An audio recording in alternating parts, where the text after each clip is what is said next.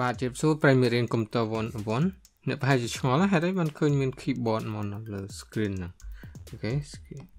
នេះអូខេ keyboard នេះខ្ញុំអាចចុចបានហើយវាមាន suggest word អីហូហែណាអញ្ចឹងនៅថ្ងៃនេះខ្ញុំសូមបង្ហាញ on screen keyboard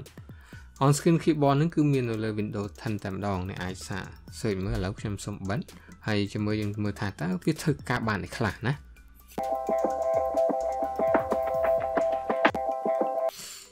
OK ឥឡូវខ្ញុំវាយពាក្យថា on screen នេះយើងវាយពាក្យថា on មកហើយយើងដក click ឃើញ on screen keyboard OK OK អញ្ចឹងខ្ញុំសូមបង្ហាញផលប្រយោជន៍វាបន្តិចអញ្ចឹងនៅក្នុងនេះបើសិនបើអ្នកទាំងអស់គ្នាមាន key ណាមួយមានបញ្ហាជាពិសេសនៅលើ keyboard ហ្នឹងវាគាំងឬក៏អី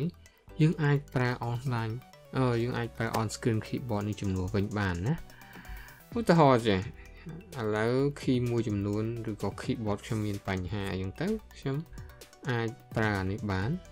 តែតើអ្នកយើងអាចវាពាក្យថា on ដែរអញ្ចឹងពេលខ្លះយើងអាចចូលទៅកាន់នេះ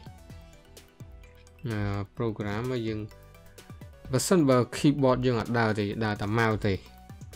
អញ្ចឹងយើង roll on keyboard នឹងដោយរបៀបណាណាអញ្ចឹងនៅនេះយើងឃើញមាន uh, window នេះ window as accessory ហើយអត់ឃើញនៅអត់នៅនឹងនេះ window is to use អូខេនេះ window is of access អូខេអញ្ចឹងយើងមាន on screen keyboard អញ្ចឹងវាមកកន្លែងហ្នឹងហើយឥឡូវខ្ញុំសូមបើក Microsoft Word ឬក៏អ្នកអាចបើកស្អីផ្សេងក៏បានដែរណាខ្ញុំបើក Microsoft Word ថ្មីមួយអូខេឥឡូវខ្ញុំសូម zoom វាធំបន្តិច Microsoft Word របស់ខ្ញុំអូខេអញ្ចឹងខ្ញុំទៅសេននេះមកអញ្ចឹងវា load មកហើយនេះឃើញទេខ្ញុំដាក់ L អញ្ចឹងឃើញ ចេញ hello ខ្ញុំអាច click នឹងបានហើយវាដក clear ហ្មង hello how are you អញ្ចឹងទៅអញ្ចឹងវាចេញមកហើយ how are you អូខេអញ្ចឹងនៅនេះយើងអាចចុច save ហើយយើងចុចសញ្ញានេះមកអញ្ចឹងវាចេញមកបានដូចគ្នាណាយើងអាចទៅកាន់ home កាន់ n នៃហូហែនៅនឹងហើយយើងមាន cap lock យើងចេញតែអក្សរធំហើយយើងទៅអឺហើយយ៉ាងណាអញ្ចឹងនៅនេះវាសឹកចេះឲ្យយើងមកទោះយើងអត់ online ក៏ដោយដែរវាសឹកចេះឲ្យយើងតែម្ដងណាអញ្ចឹងបើសិនបើអ្នកទាំងអស់គ្នាមើលនៅនេះខ្ញុំសូមលើកវាទៅលើតិចអញ្ចឹងនៅនេះខ្ញុំអត់មាន connect ទៅ internet ទេឃើញទេខ្ញុំនៅ airplane mode ទេណាអត់មាន connect ទៅ internet អញ្ចឹងនៅហ្នឹងគឺវាដើរតែម្ដងណាអូខេយើងអាចមាន tab យើងមានអីហូហែនៅហ្នឹង space យើងមានចុច alt អីចឹងទៅដើម្បីចេញ key ផ្សេងអីចឹងហូហែទៅណាយើងអាចមាន cap lock មាន function អីចឹងទៅយើងចង់ចូលប្រហែលអីហូហែយើងអាចធ្វើវាអាចយកមកប្រើជំនួសយើងបានណាចឹងវាអឺ ឬក៏អ្នកអរគ្នាវាយនៅនេះក៏បានដែរនៅហ្នឹងក៏វាមានលឺសំឡេងនៅពេលដែលយើងចុចដែរអូខេខ្ញុំដាក់ថា please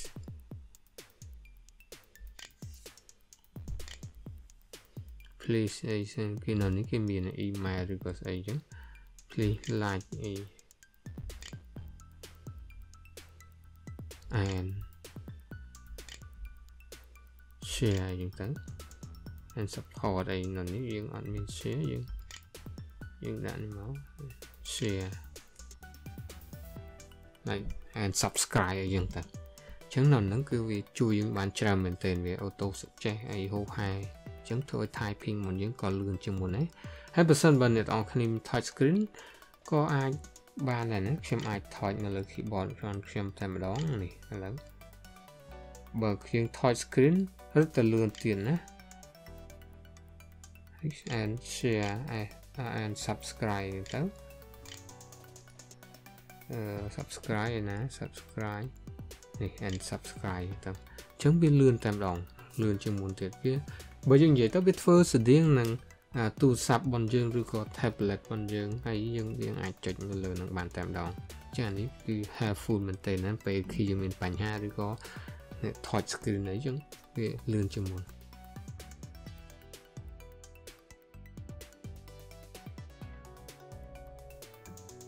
អូខេបាទអឺខ្ញុំចង់បន្ថែមបន្តិចទៀតណាតកតទៅនឹងការប្រើ online on screen keyboard នេះដោយសារខ្ញុំមិញអត់បានបង្ហាញជាភាសាខ្មែរណាអញ្ចឹងនៅនេះបើសិនបើយើងចង់ដូរទៅជាខ្មែរយើងធ្វើម៉េចបើសិនបើយើងមាន keyboard ខ្មែរហើយនៅនេះខ្ញុំមាន keyboard ខ្មែរ Unicode អីហូបហើយអញ្ចឹងនៅនេះគឺធ្វើមកយើងអាចដូរបានអញ្ចឹងនៅនេះដំបូងយើងអាចចុច Alt ហើយយើងចុច Shift មកអញ្ចឹងយើងចុច Alt ម្ដងទៀតមកវានឹងចេញនឹងតែម្ដងហើយអញ្ចឹងខ្ញុំអាចសរសេរដល់សួស្តីអញ្ចឹងទៅខ្ញុំចុចនេះសួស្តីហើយអឺស្រអ៊ូខ្ញុំ shift ហើយវានឹងចេញមកណាហើយអក្សរស ហើយដាក់ជើងអក្សរ J ជើងតអញ្ចឹងទៅហើយ shift ដាក់ស្រៈអីអញ្ចឹងទៅហើយដើម្បីដក clear យើង shift យើង space អីអញ្ចឹងទៅអញ្ចឹង concept គឺដូចគ្នាយើងអាចប្រើ touch screen អាចទៅសេលេខបានអីហូហែអសអីហូហែអញ្ចឹងទៅណាអូខេអរគុណច្រើនសង្ឃឹមថាអ្នកនរគ្នាអាចសាកធ្វើបានណា អូខេអរគុណច្រើនចំពោះ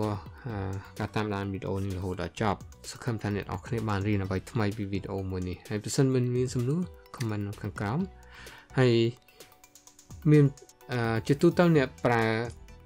ប្រើអីគេដែរនៅពេលដែលមានបញ្ហា keyboard អត់ដែរតើអ្នកមានទីសាស្ត្រអីដើម្បីអាចធ្វើការបន្តបងអ្នកអរគ្នាជួយ comment ប្រាប់អូខេជួបគ្នានៅវីដេអូក្រោយកុំភ្លេចជួយធ្វើការ like ហើយនិង share subscribe ណាជួបគ្នានៅវីដេអូក្រោយ